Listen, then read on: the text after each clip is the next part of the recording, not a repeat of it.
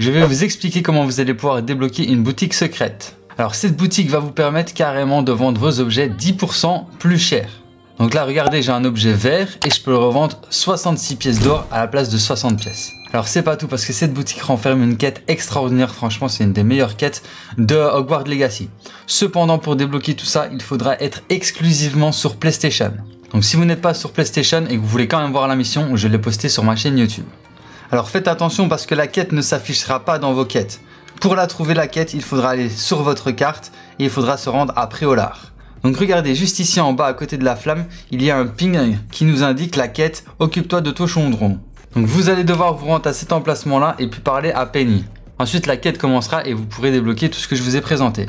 Alors si vous ne voyez pas la quête après Olar, ne vous inquiétez pas, continuez à avancer dans l'histoire parce que moi j'ai débloqué la quête à partir de 63% du jeu, enfin des missions principales. Et je suis à 58% de, la progression globale. Donc avancez dans le jeu jusqu'à temps que vous voyez la quête s'afficher.